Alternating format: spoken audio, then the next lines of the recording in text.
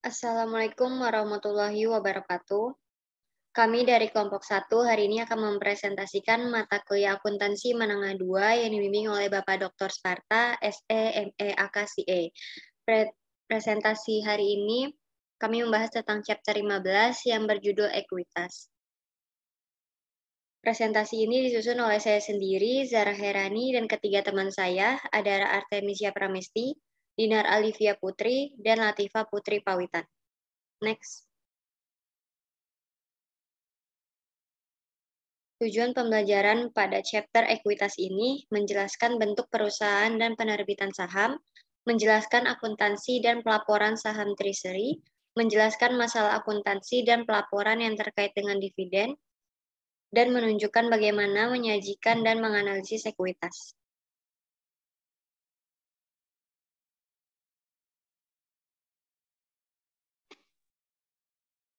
Ini tujuan pembelajaran pada chapter 15 yaitu equity. Di sini ada corporate capital. Kita mempelajari tentang corporate form, component of equity, issuance of share, preference share.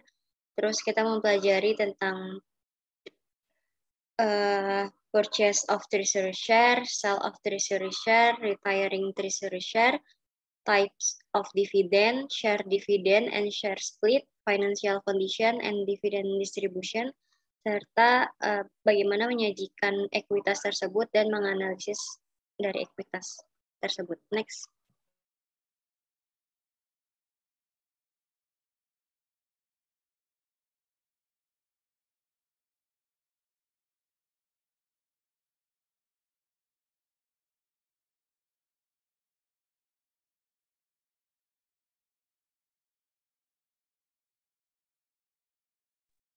Yang pertama ada modal perusahaan, tiga bentuk utama organisasi bisnis. Yang pertama ada proprietorship, yaitu yang terdiri dari satu orang. Yang kedua ada partnership, lebih dari satu orang. Yang ketiga ada corporation. Ciri-ciri khusus dari bentuk perusahaan, yang pertama pengaruh hukum perusahaan, yang kedua penggunaan sistem bagi hasil, dan yang ketiga pengembangan berbagai kepentingan kepemilikan. Next. Yang pertama ada bentuk perusahaan. Hukum perusahaan, korporasi harus menyerahkan anggaran dasar kepada lembaga pemerintah yang sesuai untuk negara di mana pendirian itu diinginkan. Instansi pemerintah mengeluarkan piagam perusahaan, keuntungan untuk dimasukkan jika undang-undang mendukung bentuk korporat dari organisasi bisnis. Next. Lalu ada sistem bagikan dengan tidak adanya ketentuan yang yang membatasi setiap saham membawa hak-hak berikut. Yang pertama, untuk berbagi secara proporsional dalam keuntungan dan kerugian. Yang kedua, untuk berbagi secara proporsional dalam manajemen atau hak untuk memilih direktur. Yang ketiga, untuk berbagi secara proporsional dalam kekayaan pada saat likuidasi. Yang keempat, untuk berbagi secara proporsional dalam setiap penerbitan baru saham dari kelas yang sama disebut hak memesan efek terlebih dahulu. Next. Ragam kepentingan kepemilikan yang di sini ada dua, yaitu saham biasa dan saham preferen. Saham biasa merupakan sisa kepentingan perusahaan. Saham biasa ini menanggung risiko kerugian tertinggi menerima manfaat dari kesuksesan, tidak dijamin dividen atau aset pada saat pembubaran. Saham preferen ini dibuat berdasarkan kontrak ketika pemegang saham mengorbankan hak tertentu dengan imbalan hak atau hak istimewa lainnya, biasanya preferen dividen. Next.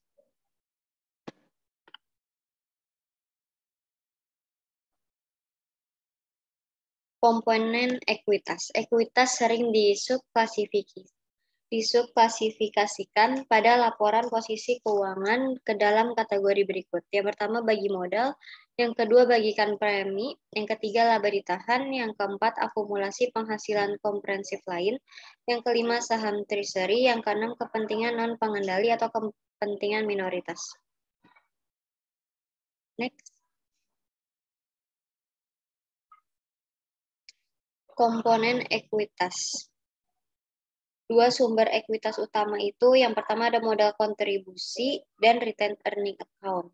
di mana modal kontribusi ini terbagi menjadi dua, yaitu saham biasa dan saham preferen.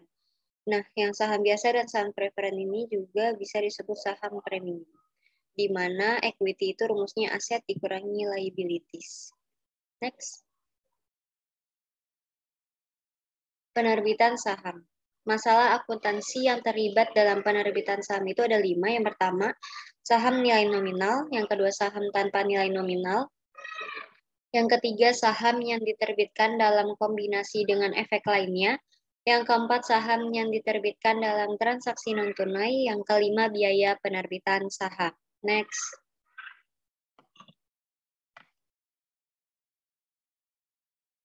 Lalu ada saham nilai par. Nilai nominal yang rendah membantu perusahaan menghindari kewajiban kontingensi. Perusahaan memelihara akun untuk uh, yang pertama untuk saham preferen atau saham biasa dan yang kedua untuk saham premium. Next.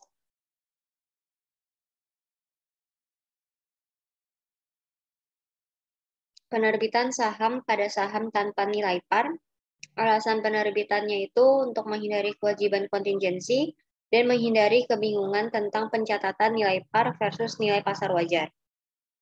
Kerugian utama dari saham tanpa nilai nominal adalah bahwa beberapa negara memungut pajak yang tinggi untuk masalah ini. Selain itu, di beberapa negara, total harga penerbitan untuk saham tanpa nilai nominal dapat dianggap sebagai modal yang sah, yang dapat mengurangi fleksibilitas dalam membayar dividen. Next. Ilustrasi video Electronics AG diatur dengan 10.000 saham biasa yang disahkan tanpa nilai nominal. Jika Video Electronics menerbitkan 500 saham secara tunai dengan harga 10 euro per saham, maka entry berikut dibuat ada cash di debit terhadap share capital ordinary di kredit sebesar 5.000. Lalu jika Video Electronics menerbitkan 500 saham lagi seharga 11 euro per saham, maka jurnalnya menjadi cash di debit terhadap share capital ordinary di kredit sebesar 5.500. Next. Ilustrasi yang kedua, beberapa negara mengharuskan saham tanpa nilai nominal memiliki nilai yang dinyatakan jika sebuah perusahaan menerbitkan 1000 saham dengan nilai 5 euro yang dinyatakan pada 15 euro per saham secara tunai, maka entry-nya menjadi cash di debit sebesar 15.000 terhadap share capital ordinary di kredit sebesar 5.000 dan share premium ordinary sebesar 10.000 di kredit. Next. Saham yang diterbitkan dengan sekuritas lain, dua metode pengalokasian dananya. Yang pertama ada metode proporsional, dan yang kedua ada metode incremental. Next. Ilustrasinya ada perusahaan Rafonet menerbitkan 300 lembar saham biasa dengan nilai nominal 10 dolar dan 100 lembar saham preferred dengan nilai nominal 50 dolar dengan jumlah sekaligus sebesar 13.500 dolar. Saham biasa memiliki nilai pasar 20 dolar per saham dan saham preferan memiliki nilai pasar 90 dolar per saham. Maka kita untuk metode proporsional kita mencatatnya yang pertama untuk saham biasa atau ordinary share-nya 300 dikali 20 dolar yaitu 6.000 dolar. Lalu untuk saham preference 100 dikali 90 dolar menjadi 9.000 sehingga total mark per market value-nya 15.000. Untuk pengalokasiannya untuk saham biasa atau ordinary issue price-nya 13.500 dialokasikan 40% menjadi 5.400 dolar. Untuk pengalokasian saham preference, issue price-nya 13.500 dialokasikan 60% menjadi 8.100. Next.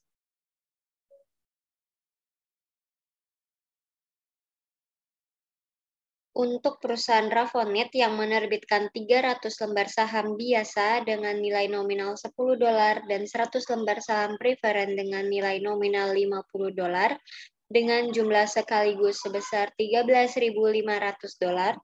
Saham biasa memiliki nilai pasar 20 dolar per saham dan saham preferen memiliki nilai pasar 90 dolar per saham dengan metode proporsional maka jurnal entry-nya menjadi cash di debit sebesar 13.500 terhadap share capital preference sebesar 5.000 yaitu 100 kali 50 dolar. Share premium preference di kredit sebesar 3.100. Share premium ordinary sebesar 3.000 dari 300 kali 10 dan share premium ordinary sebesar 2.400 di kredit. Next. Selanjutnya akan dijelaskan oleh Adara Artemisia. Selanjutnya ada saham yang diterbitkan dengan sekuritas lain. BE 15 6 variasi Rafonet Corporation menerbitkan 300 lembar saham biasa dengan nominal 10 dan lembar, 100 lembar saham preference dengan nilai nominal 50 untuk jumlah lamsam sebesar 13.500, saham biasa memiliki nilai pasar 20 20 per saham. Dan nilai saham preference tidak diketahui. Ordinary shares preference share numbernya 300, maunya 20, totalnya 6.000. Preference share-nya 1600, maunya kosong, totalnya kosong.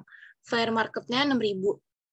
Allocation-nya issue price-nya ordinary-nya kosong, preference-nya 13.500. Ordinary-nya, ordinary-nya kosong, preference-nya 6.000.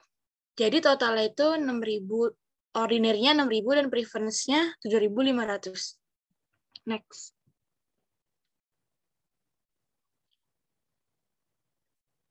Journal entry-nya itu cash 13.500 di debit, share capital preference itu 5.000 dapat dari 100 dikali 50, share premium preference 2.500, share ordinary share capital ordinary 300 dikali 10 itu jadi 3.000, share premium ordinary 3.000. Itu di kredit next. Penerbitan saham. Saham yang diterbitkan dalam transaksi non tunai, aturan umumnya itu perusahaan harus mencatat saham yang diterbitkan untuk jasa atau properti selain uang tunai di yang pertama itu nilai wajar barang atau jasa yang diterima. Yang kedua itu jika nilai wajar barang atau jasa tidak dapat diukur secara andal, gunakan nilai wajar saham yang diterbitkan. Next.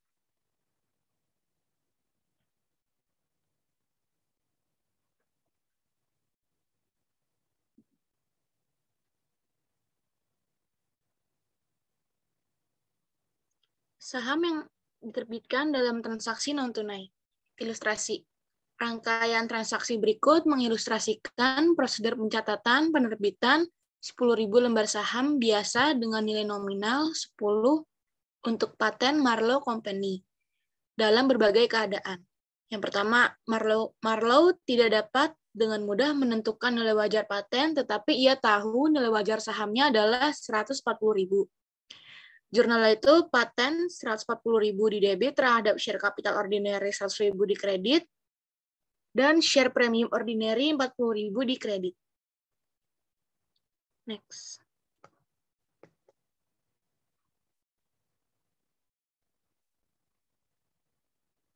Yang kedua, Marlow tidak dapat dengan mudah menentukan nilai wajar saham, tetapi menentukan nilai wajar paten adalah 150.000.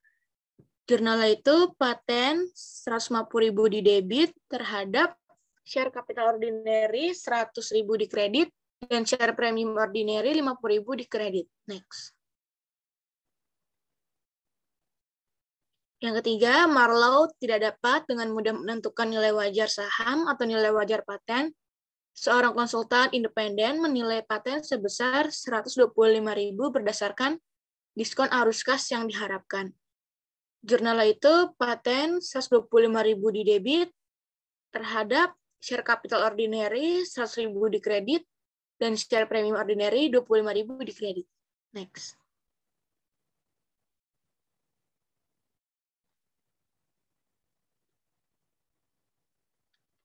Selanjutnya ada biaya penerbitan saham.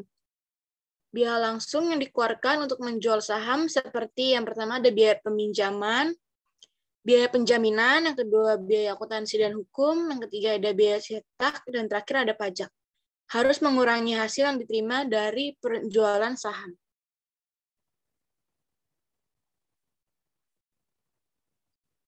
Saham preference. Fitur sering dikaitkan dengan saham preferensi. Yang pertama itu preferensi untuk dividen, yang kedua preferensi untuk aset dalam hal likuidasi, yang ketiga dapat dikonversi menjadi saham biasa, yang keempat dapat dipanggil sesuai pilihan korporasi,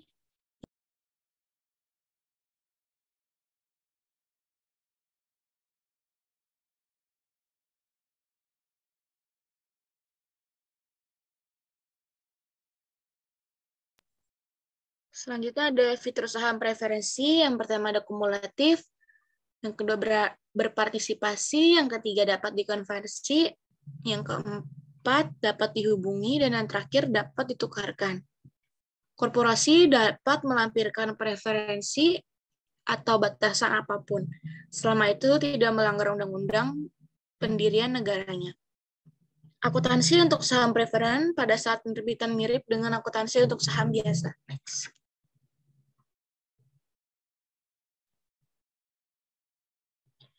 Ilustrasi Biskop PLC menerbitkan 10.000 lembar saham preference dengan nilai nominal 10 dengan harga tunai 12 per lembar. ASKAP mencatat penerbitan sebagai berikut. Jurnalnya itu cash 120.000 terhadap share capital preference 100.000 di kredit, dan share premium preference 20.000 di kredit. Selanjutnya ada reakuisisi saham perusahaan membeli saham beredar mereka untuk yang pertama memberikan distribusi kelebihan uang tunai yang efisien pajak kepada pemegang saham. Yang kedua, meningkatkan laba per saham dan laba atas ekuitas. Yang ketiga, memberikan saham untuk kontrak kompensasi karyawan atau untuk memenuhi kebutuhan merger potensial. Yang keempat, menggagalkan upaya pengambil alihan atau mengurangi jumlah pemegang saham. Yang kelima, membuat pasar di saham. Next. Pembelian saham treasury. Ada dua metode yang dapat diterima. Yang pertama, metode biaya lebih banyak digunakan. Yang kedua, ada metode nilai par yang dinyatakan. Saham treasury mengurangi ekuitas. Next.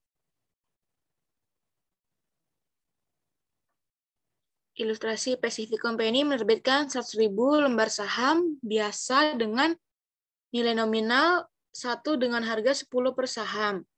Selain itu, ia memiliki laba ditahan sebesar 300.000. Equity share capital ordinary 1 par 100.000 share issue and outstanding-nya itu 100.000, share premium ordinary-nya 900.000, retain earning-nya 300.000, Total equity-nya 1.300. Next. Selanjutnya itu jurnalnya treasury share terhadap cash 110.000. Next.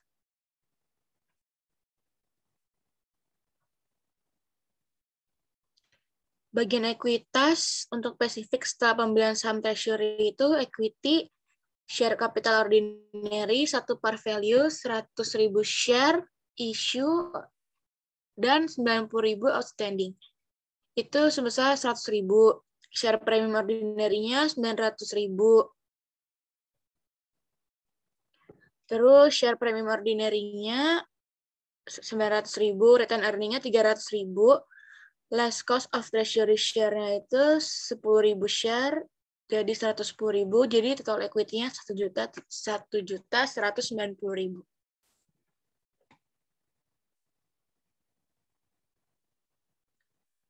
Penjualan saham treasury di atas biaya, ada di atas di, di atas biaya dan di bawah biaya. Keduanya meningkatkan total aset dan ekuitas. Next.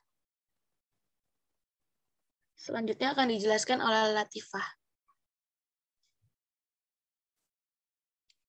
Selanjutnya, penjualan saham treasury di atas harga pokok. Pacific mengakuisisi 10.000 saham treasury dengan harga 11 dolar per saham. Sekarang menjual 1.000 saham di 15 dolar per saham pada 10 Maret. Pacific mencatat jurnal sebagai berikut.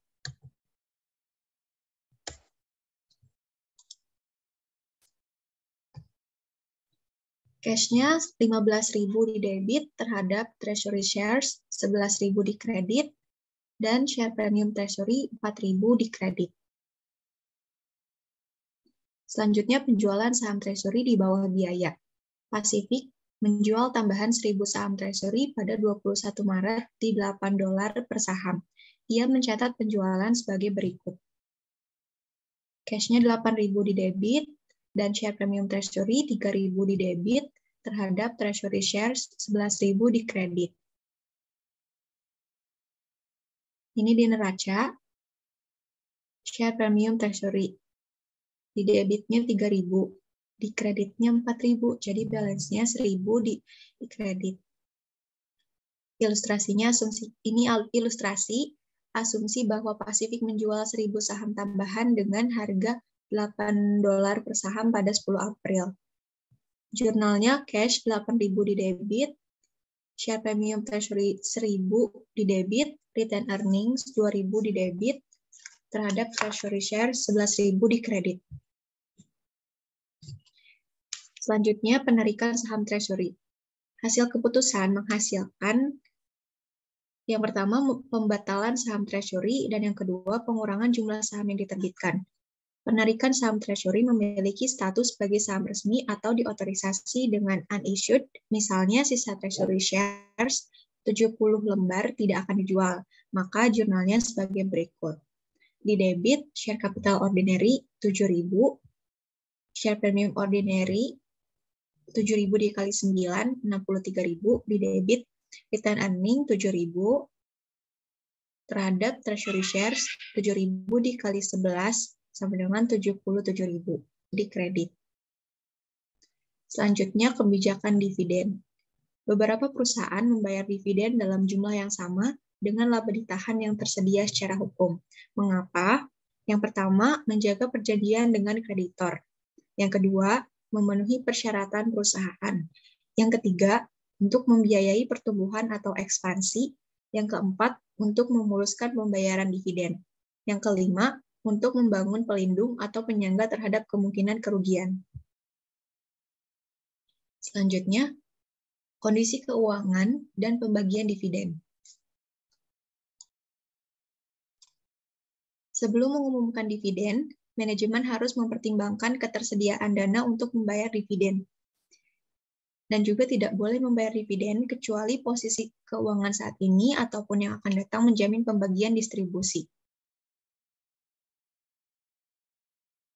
Jenis dividen ada empat. Yang pertama dividen tunai, kedua dividen properti, yang ketiga dividen likuidasi, dan yang keempat dividen berbagi. Semua dividen kecuali dividen saham mengurangi total ekuitas di perusahaan. Yang pertama, penjelasan tentang dividen tunai. Dewan Direksi memberikan suara pada deklarasi dividen tunai. Dividen tunai yang dinyatakan adalah kewajiban perusahaan tidak menyatakan atau membayar dividen tunai atas saham treasury. Jadi ada tiga tanggal. Yang pertama itu tanggal deklarasi, lalu tanggal pencatatan, dan juga ada tanggal pembayaran. Ilustrasinya sebagai berikut. Broadway Freight Corporation pada 10 Juni mengumumkan dividen tunai sebesar 50 sen per saham pada 1,8 juta saham yang dibayarkan 16 Juli kepada semua pemegang saham yang tercatat pada 24 Juni. Pada saat tanggal deklarasi, yaitu tanggal 10 Juni, jurnalnya adalah return earning 900.000 di debit terhadap dividen payable 900.000 di kredit.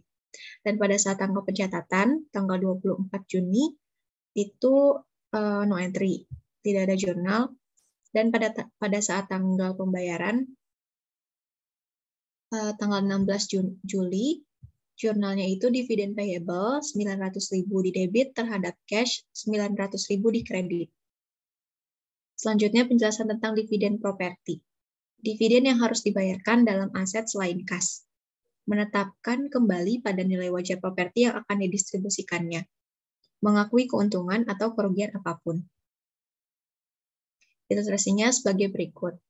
Sen Ltd mentransfer kepada pemegang saham sebagian investasinya held for trading dalam sekuritas harga eh, satu juta dua ratus lima puluh ribu Hong Kong dolar dengan menyatakan dividen properti pada 28 Desember 2018 yang akan dibagikan pada 30 Januari 2019 kepada pemegang saham yang tercatat pada 15 Januari 2019.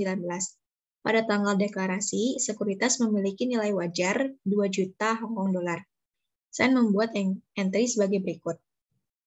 Yang pertama, pada pada saat tanggal deklarasi, yaitu tanggal 28 Desember 2000 18. Jurnalnya itu equity investment 750.000 di debit terhadap unrealized holding gain or loss income 750.000 di kredit. Dan ada return earnings 2 juta di debit terhadap property dividends payable 2 juta di kredit. Selanjutnya pada tanggal distribusi, yaitu tanggal 30 Januari 2019, Jurnalnya itu property dividends payable 2 juta di debit terhadap equity investment 2 juta di kredit. Selanjutnya penjelasan tentang dividen likuidasi. Setiap dividen yang tidak didasarkan pada pendapatan mengurangi jumlah yang dibayarkan oleh pemegang saham. Ilustrasinya sebagai berikut.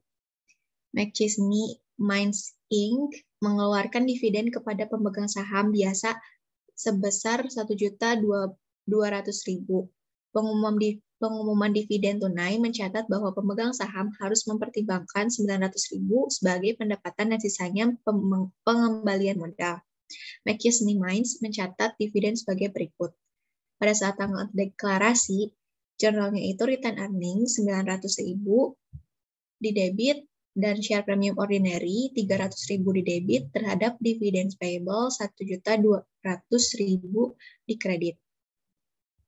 Pada saat tanggal deklarasi, jurnalnya dividen payable 1.200.000 di debit terhadap cash 1.200.000 di kredit.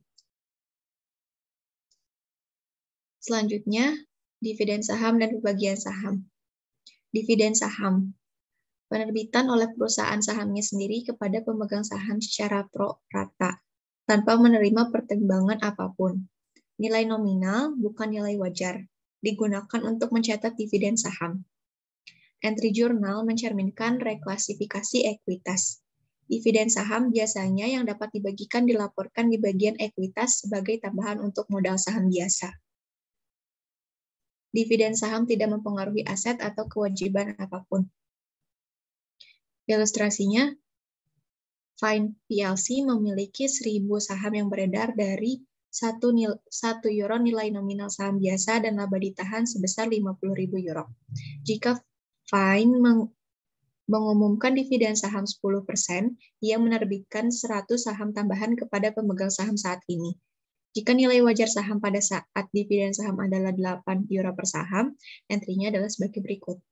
Pada saat tanggal deklarasi, Jurnalnya itu ada return earning 10.000 di debit terhadap ordinary shares dividend distributable 10.000 di kredit.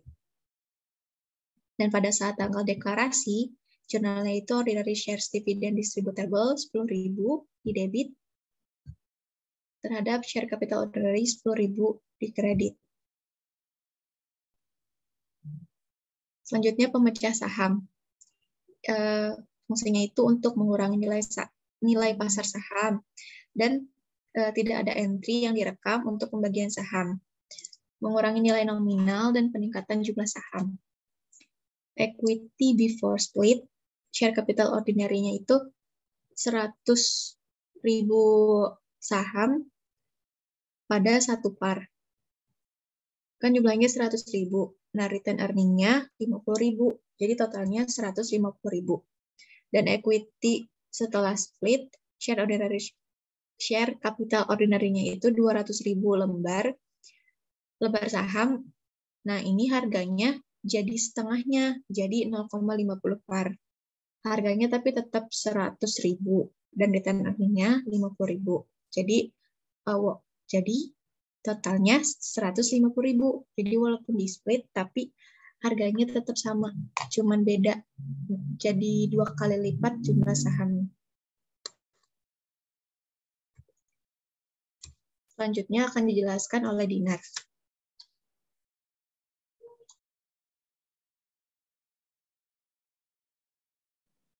Selanjutnya dividen saham dan pembagian saham itu ada pembagian saham dan dividen saham dibedakan.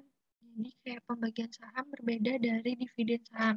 Bagaimana? Yang pertama itu pembagian saham meningkatkan jumlah saham yang beredar dan mengurangi nilai nominal atau yang dinyatakan perusahaan. Selanjutnya, dividen saham itu meningkatkan jumlah saham yang beredar, tidak mengurangi nilai pari, dan tidak meningkatkan total nilai nominal uh, saham yang beredar. Next.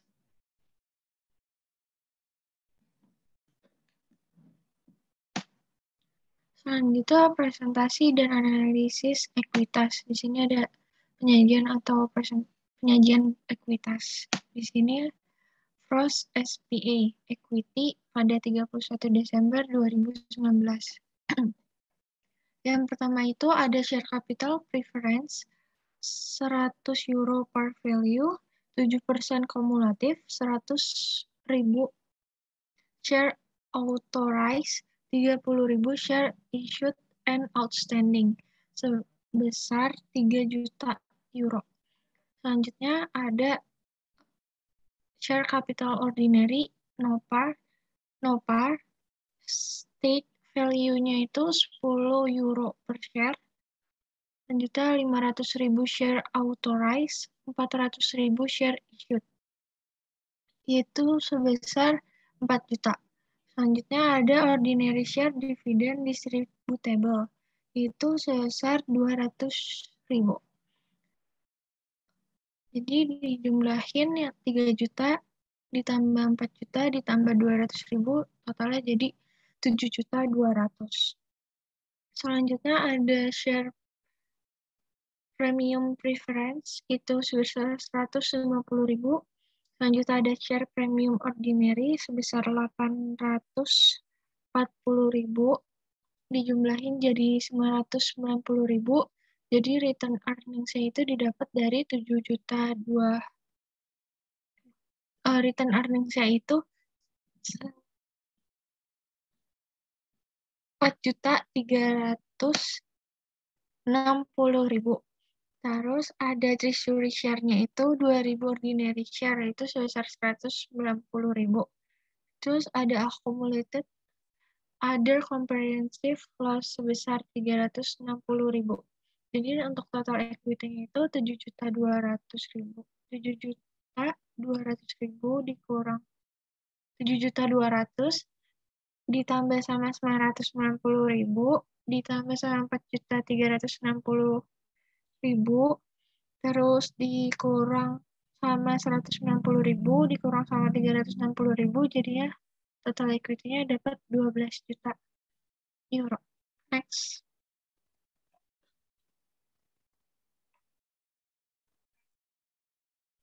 Selanjutnya itu pengungkapan pembatasan laba ditahan. Pembatasan tersebut paling baik diungkapkan dengan catatan. Yang pertama itu pembatasan yang diberlakukan oleh indentur obligasi dan perjanjian pinjaman umumnya memerlukan penjelasan yang diperpanjang. Mengungkapkan catatan harus mengungkapkan uh, sumber pembatasan, ketentuan yang bersangkutan, dan juga jumlah laba ditahan yang di, yang tunduk pada pembatasan atau jumlah yang tidak dibatasi.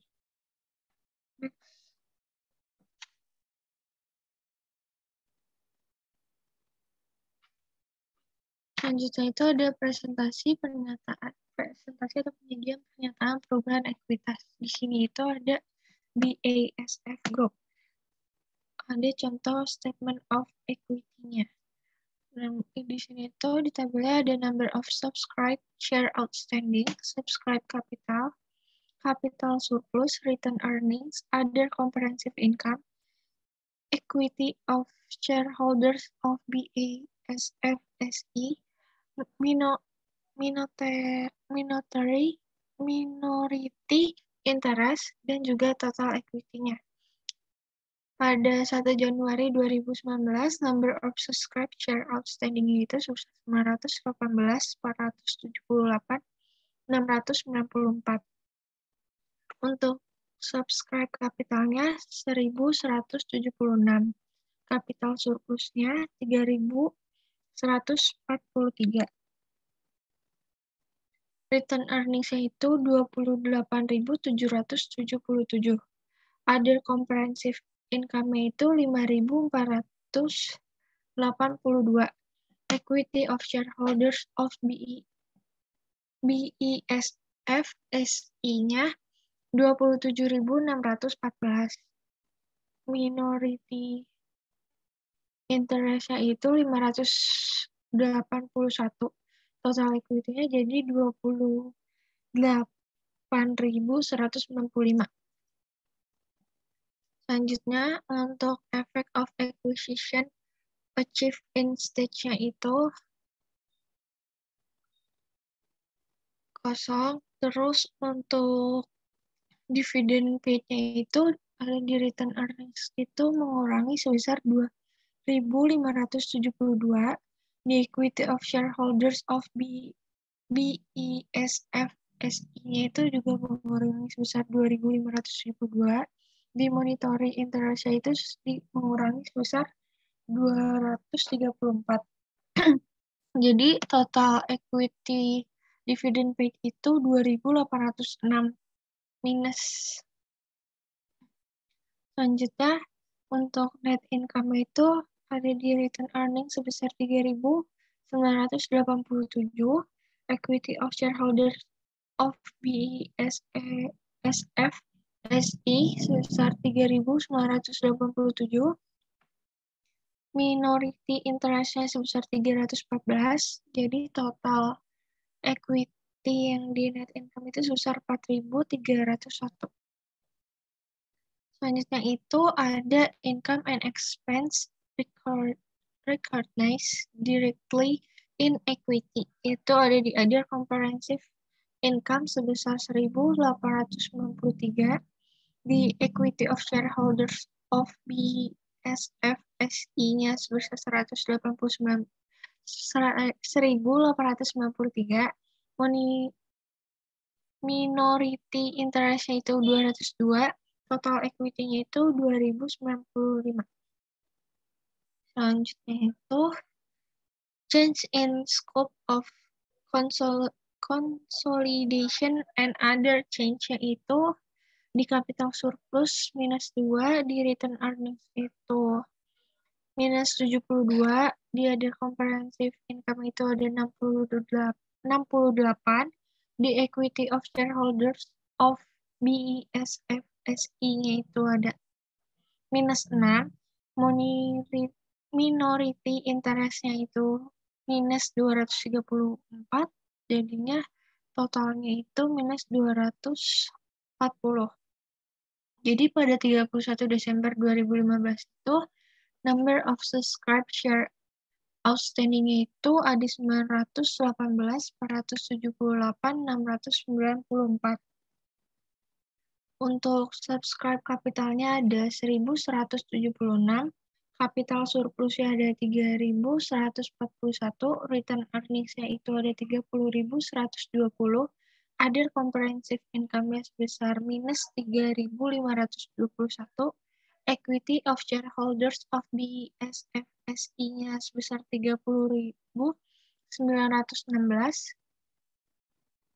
minority interest-nya sebesar 629, total equity-nya jadi 31.545. Next.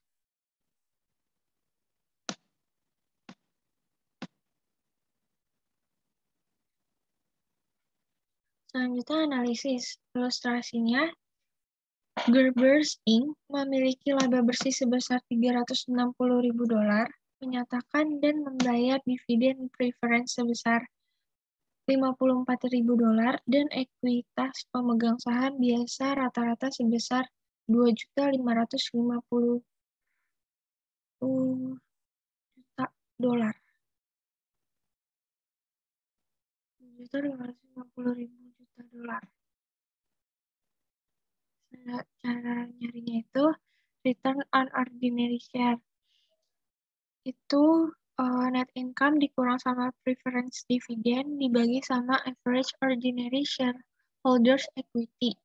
Net income-nya itu sebesar 360 ribu dolar dikurang sama preference dividennya sebesar 54 ribu dolar dibagi sama 2.500 2.550.000 dolar. Jadinya return on ordinary share equity-nya itu 12%. Rasio menunjukkan berapa dolar laba bersih yang diperoleh perusahaan untuk setiap dolar yang diinvestasikan oleh pemiliknya. Next. Selanjutnya, Troy SA memiliki dividen tunai sebesar 100.000 euro dan laba bersih sebesar 500.000 euro dan tidak ada saham preferen yang beredar. Jadi menghitung pay, payout ratio, ratio, ratio itu cash dividend dibagi sama net income dikurang sama preferen dividend. Jadinya 100.000 euro dikurang sama 500.000 euro. Jadi payout ratio-nya itu 20%.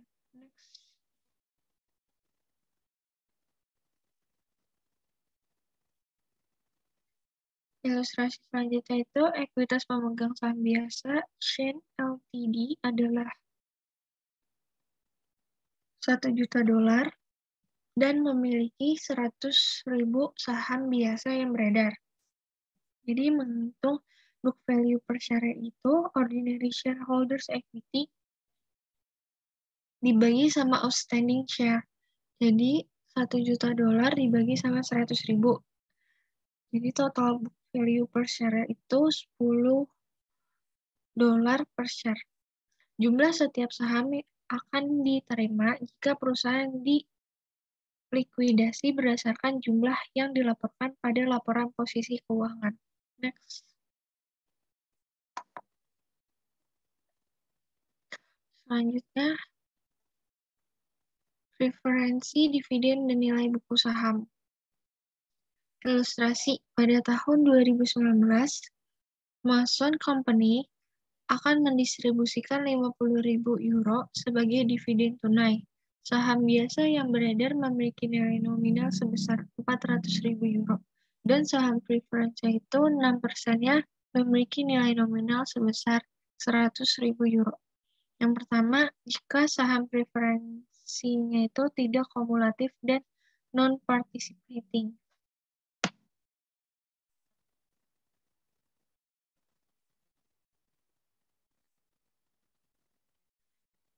Jadi 6% of dari 100.000 euro itu di preferensi jadi 6.000 Bu, terus the remainder or the remainder to ordinary-nya itu di ordinary sebesar 44 ribu euro. Jadinya totalnya itu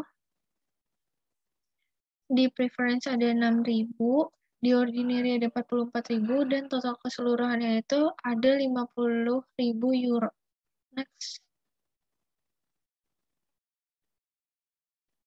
Selanjutnya itu ilustrasi pada tahun 2019.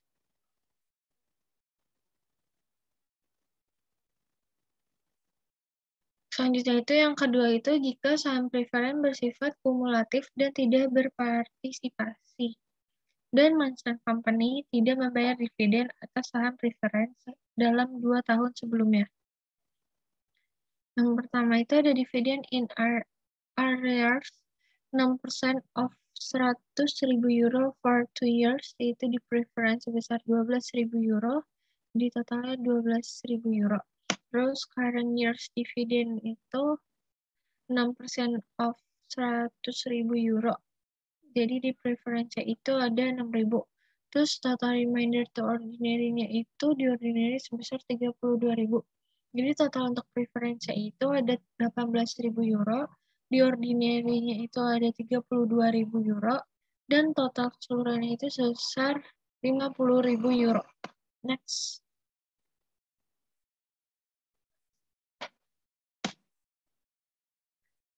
Yang ketiga itu jika saham preferen tidak kumulatif dan sepenuhnya berpartisipasi. Nah, yang pertama itu ada current year's dividend sebesar 6%, di preference ada 6.000, ordinary 24.000. Jadi totalnya ada 30.000 euro. Terus participating dividend of 4% itu di preference itu ada 4.000, ordinary ada 16.000, jadi totalnya ada 20.000. Jadi total untuk preference itu ada 10.000 euro, di ordinary itu ada 40.000 euro. Jadi total keseluruhannya itu 50.000 euro. Selanjutnya untuk hitung the participating dividend was determined as follow itu ada current year's dividend. Untuk itu preference pada 6% dari 100.000 euro jadi 6.000 euro Terus ordinary 6% dari 400.000 euro jadi 24.000 euro. Totalnya jadi 30.000 euro. Terus amount available for participation itu 50.000 dikurang sama 30.000. Jadinya 20.000 euro. Per value of share that are to participate itu 100.000 euro ditambah sama 400 ribu euro. Jadinya 500 ribu euro. Terus rate of participation yaitu 20 ribu euro ditam dibagi sama 500 ribu euro. Jadi 4 persen. Jadi untuk participation participating dividend itu preference itu 4 persen dari 100 ribu euro jadinya 4.000 euro, ordinary-nya itu 4% dari 400 ribu euro, jadinya 16.000 euro. Jadi totalnya itu ada 20.000 euro. Next. Selanjutnya yang keempat, jika saham preferen bersifat kumulatif dan berpartisipasi penuh, dan Mahsun Company tidak membayar dividen atas saham preferen dalam dua tahun sebelumnya. Yang pertama itu ada dividen in arrears 6% of 100.000 euro for 2 years itu preference itu ada 12.000 euro, totalnya 12.000 euro. Current years dividen 6, 6% di preference ada 6.000, di ordinary ada 24.000 euro, jadi totalnya 30.000 euro. Terus participating dividend 1,6 persen. Dan dalam kurung 8.000 euro dibagi 500 500 ribu euro. Jadi di preference itu ada 1, 1600, di ordinary itu ada 600 6.400, jadi totalnya ada 8.000. Jadi total keseluruhan di preference itu ada 19.600 euro, di ordinary ada 30.400 euro, di total itu ada 50.000 euro. Next.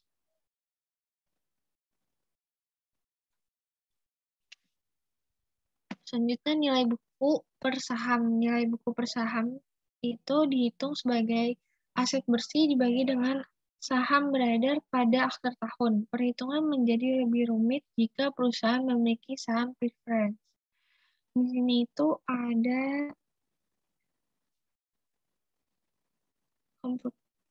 ada uh, equity preference share itu 5%, jadinya di preference itu 300 ribu.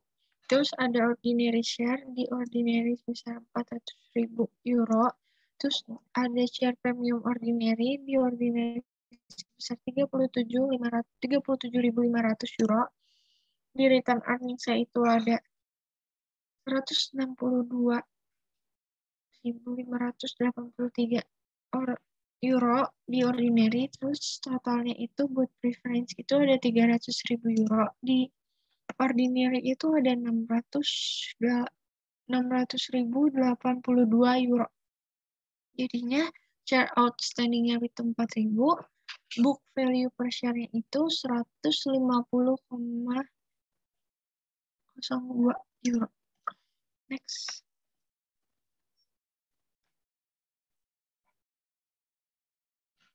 Asumsikan bahwa fakta yang sama ada kecuali bahwa bagian preferen 5% bersifat kumulatif berpartisipasi hingga 8%, dan bahwa dividen selama tiga tahun sebelum tahun berjalan menunggak. Sini itu ada equity-nya, preference share itu 5%, di preference ada 300 ribu euro, di ordinary share itu 400 ribu euro, itu share premium ordinary-nya 37.500. Terus untuk return earnings itu membedakan di sini itu return earnings itu ada dividen in arrears 3 years at 5% a year itu di preference besar 45.000. Terus ada current year requirement at 5% di preference itu sebesar 15.000. Participating additional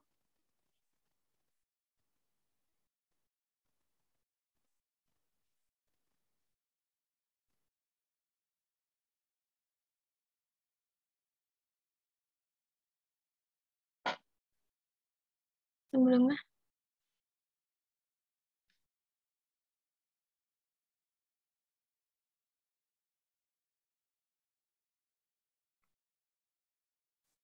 ada participating participating additional 3 3% itu di preference 9.000 dan di ordinary-nya itu 12.000. Tadi untuk uh, current year recruitment at 5% itu di ordinary ada 20.000. Terus reminder to ordinary-nya ada 60.500 582 di ordinary. Terus untuk totalnya di preference itu ada 369.000 euro, di ordinary itu ada 531 82 euro. Reminder to ordinary-nya itu 61.582. Terus ada share outstanding-nya itu 4.000, book value per share itu 132,77 euro. Next. Selanjutnya akan dijelaskan oleh Zara Khairani.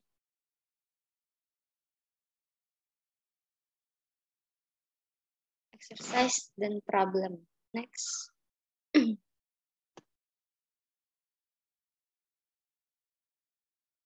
Untuk exercise 15.2, pencatatan penerbitan saham biasa dan saham preference. Abernathy Corporation didirikan pada tanggal 1 Januari 2022. Perusahaan ini berwenang untuk menerbitkan 10.000 lembar saham. 10.000 lembar saham 8%, saham preferen dengan nilai nominal 50 dolar dan 500 lembar saham biasa tanpa nilai nominal dengan nilai yang ditentukan dari 2 dolar per saham. Transaksi saham berikut ini diselesaikan selama tahun pertama pada tanggal 10 Januari 2022 menerbitkan 80.000 saham biasa secara tunai dengan harga 5 dolar per saham. Pada tanggal 1 Maret, menerbitkan 5.000 saham preference secara tunai dengan harga 108 dolar per saham. Pada tanggal 1 April, menerbitkan 24.000 saham biasa untuk tanah. Harga yang diminta dari tanah itu adalah 90.000 dolar. Nilai wajar tanah adalah 80.000 dolar. Pada tanggal 1 Mei, menerbitkan 80.000 saham biasa secara tunai dengan harga 7 dolar per saham. Untuk tanggal 1 Agustus, menerbitkan 10.000 saham biasa kepada pengacara sebagai pembayaran tagihan mereka sebesar 50.000 dolar untuk jasa yang diberikan dalam membantu perusahaan mengatur, untuk membantu mengatur perusahaan. Pada tanggal 1 September menerbitkan 10.000 saham biasa secara tunai dengan harga 9 dolar per saham. Pada tanggal 1 November menerbitkan 1.000 saham preference secara tunai dengan harga 112 dolar per saham. Next.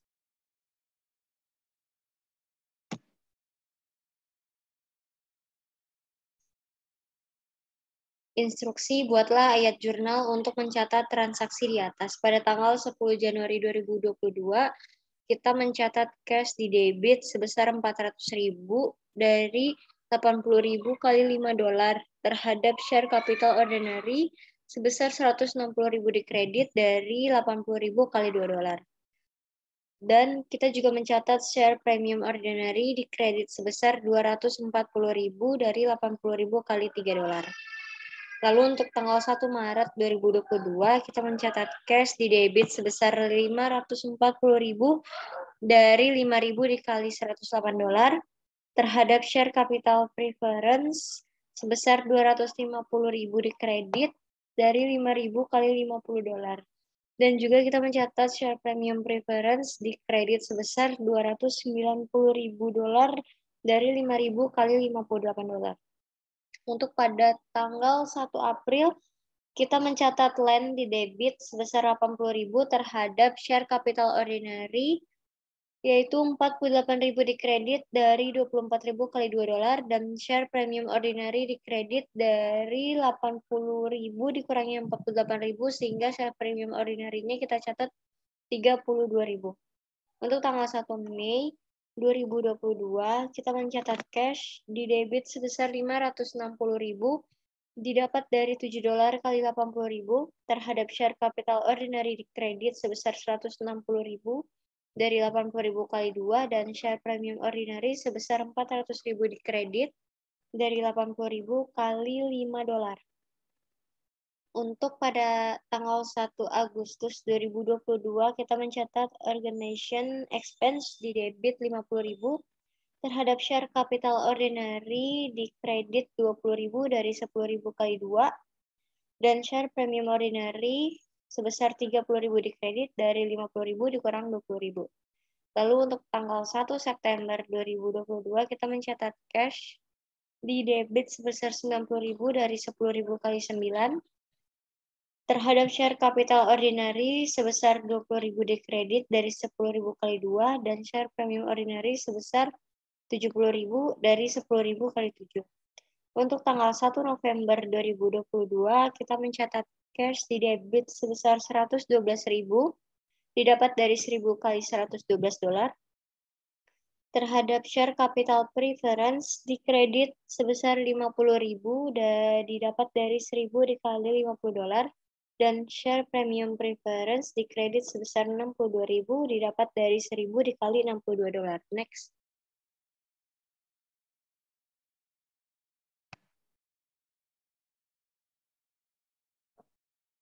Soal selanjutnya akan dijelaskan oleh Adara Artemisia.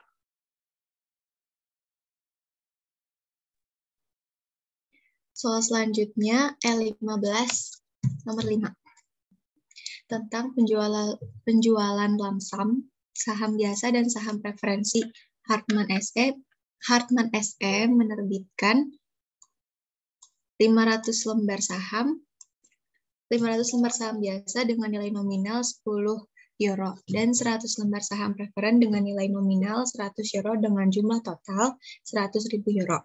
Instruksinya, yang A, buatlah ayat jurnal untuk penerbitan jika nilai wajar saham biasa masing-masing 168 euro dan nilai wajar saham preferen masing-masing 210 euro. Ini di, e, dilakukan pembulatan ke euro terdekat. Yang B, buatlah ayat jurnal untuk penerbitan jika hanya nilai wajar saham biasa 170 euro per saham yang diketahui.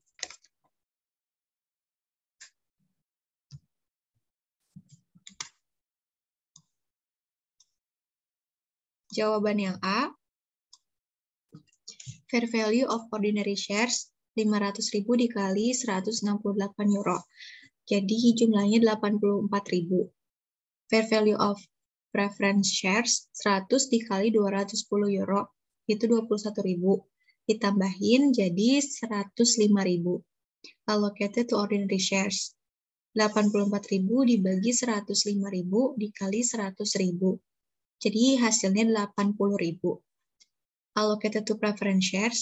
21.000 dibagi 105.000 dikali 100.000. Jadi hasilnya 20.000. Total alokasinya 80.000 ditambah 20.000 sampai dengan 100.000. Selanjutnya cash 100 ribu. Uh, ini jurnalnya. Cash 100 ribu terhadap share capital ordinary 500 dikali 10 euro 5000 dikredit dan share premium ordinary 80.000 dikurangi 5.000 jadi 75.000 dikredit. Lalu share capital preference 100 dikali 100 euro dengan 10.000 dikredit, share premium preference 20.000 dikurangi 10.000 sama dengan 10.000 dikredit. Untuk jawaban yang B, lamsam resep 100 ribu alokasi pesan biasa 500 dikali 170 euro. Jadi 85 ribu Nah, itu mengurangi. Maka balance allocated to preference-nya itu 100 ribu dikurangi 85 ribu hasilnya 15 ribu Nah, untuk jurnalnya cash 100 ribu di debit terhadap share capital ordinary 5.000 di kredit share premium ordinary 85.000 dikurangi 5.000 sama dengan 80.000 di kredit, share capital preference 10.000 di kredit, dan share premium preference 15.000 dikurangi 10.000 sama dengan 5.000.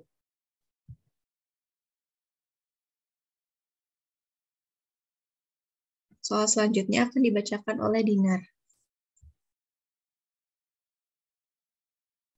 Selanjutnya P15.2 itu uh, transaksi dan penyajian saham treasury.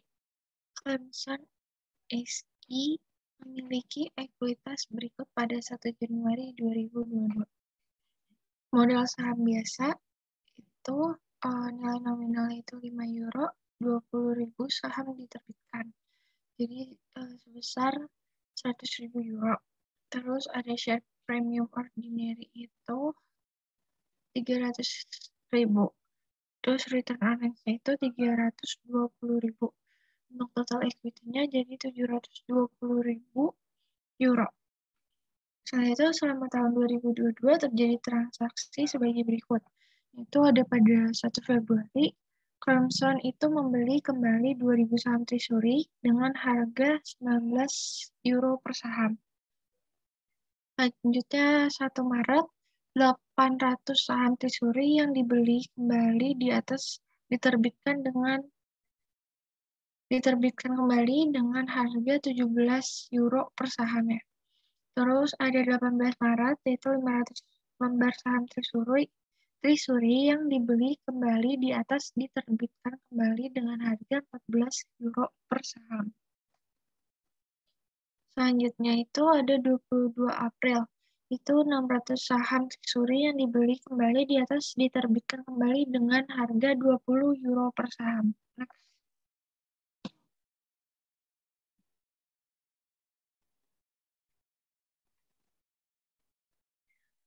Instruksinya itu uh, yang pertama buatlah ayat jurnal untuk mencatat transaksi saham Treasury pada tahun 2022 dengan asumsi Clemson menggunakan metode biaya. Selanjutnya yang kedua itu, yang B, siapkan bagian ekuitas dari laporan posisi keuangan per 30 April 2, tahun 2022. Laba bersih untuk 4 bulan pertama tahun 2022 adalah 130.000 euro. Untuk yang pertama itu, ayat jurnal uh, dengan menggunakan metode biaya itu pada 1 Februari itu di debit saya di treasury share 19 euro dikali 2000 jadinya 38.000. Uh, pada di kredit ada cash sebesar 38.000.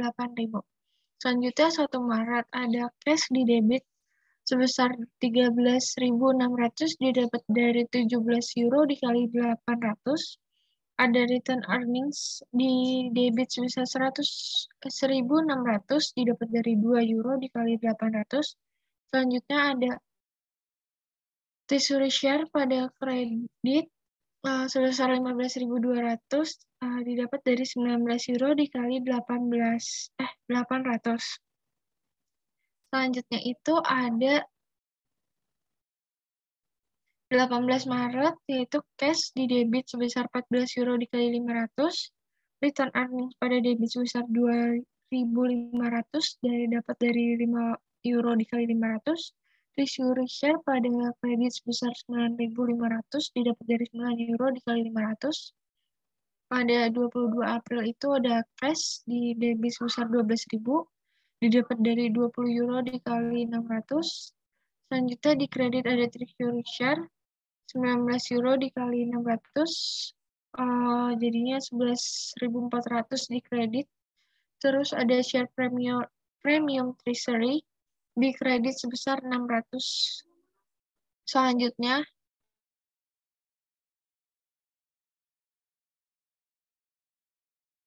Selanjutnya, yang B itu Clemson Company.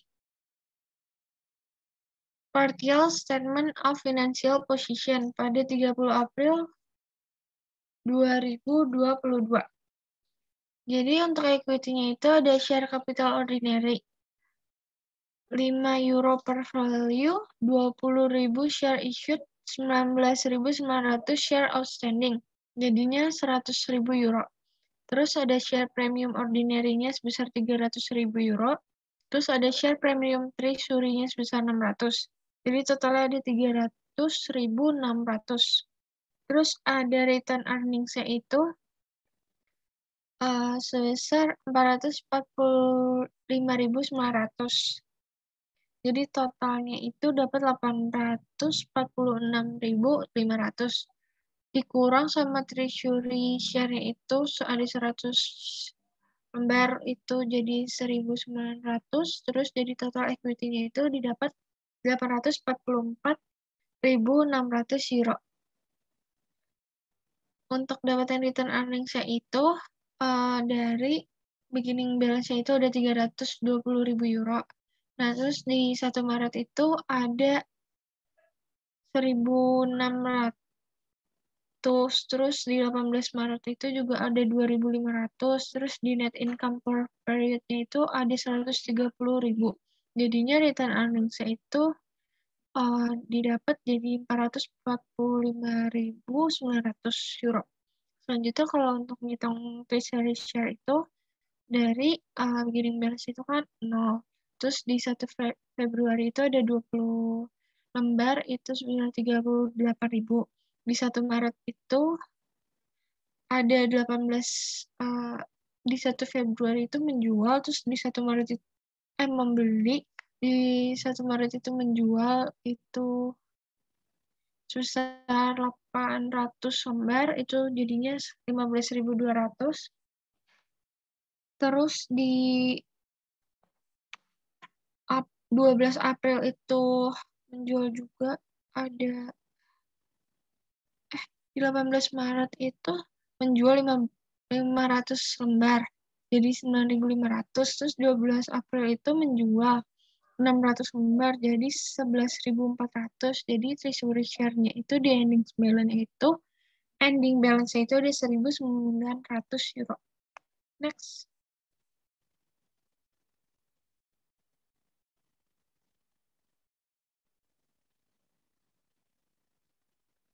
Selanjutnya akan dijelaskan oleh Zara Khairani. Selanjutnya P15.6 saham treasury persiapan bagian ekuitas. Washington Company memiliki akun ekuitas berikut pada tanggal 31 Desember 2022. Untuk pencatatannya itu share capital ordinary sebesar 100 dolar per value, authorized 8.000 share, yaitu sebesar 480.000 dolar dan return earnings-nya 294.000. Instruksi yang A, buatlah ayat jurnal untuk mencatat transaksi berikut yang terjadi selama tahun 2023 dengan yang pertama 280 saham biasa dibeli dengan harga 97 dolar per saham, dan ini harus dicatat dengan menggunakan metode biaya. Yang kedua, dividen tunai 20 dolar per saham diumumkan. Yang ketiga, dividen yang diumumkan pada nomor 2 di atas telah dibayarkan. Yang keempat, saham treasury yang dibeli di nomor 1 dijual kembali dengan harga 102 dolar per saham. Yang kelima, 500 saham dibeli dengan harga 105 dolar per saham. Dan yang keenam, 350 saham yang dibeli di nomor 5 dijual kembali dengan harga 96 dolar per saham. Yang B, siapkan bagian ekuitas dari laporan posisi keuangan perusahaan Washington setelah memperlakukan transaksi ini dengan asumsi bahwa laba bersih untuk tahun 2023 adalah 94.000 dolar. hukum negara mensyaratkan pembatasan laba ditahan untuk jumlah saham treasury. Next.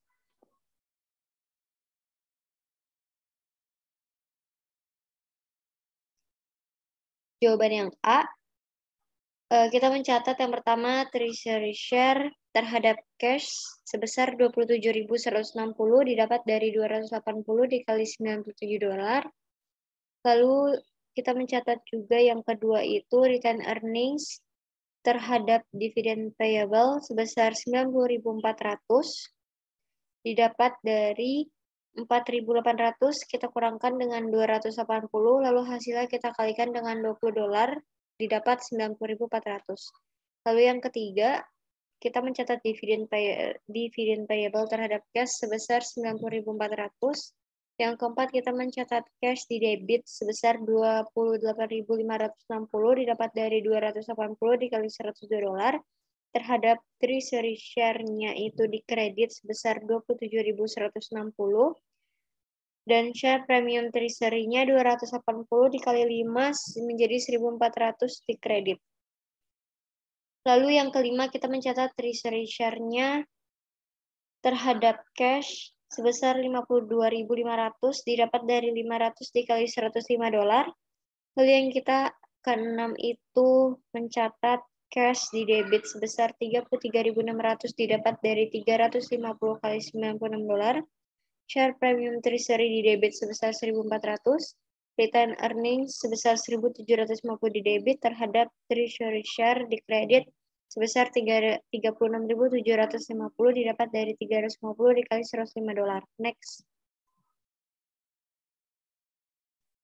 Lalu untuk yang B, kita men, kita membuat statement of financial position untuk perusahaan Washington pada tanggal 31 Desember 2023 dengan equity share capital ordinary 100 dolar per value authorized 8.000 share issued 4.800 share, 4.650 share outstanding menjadi 480.000 dolar.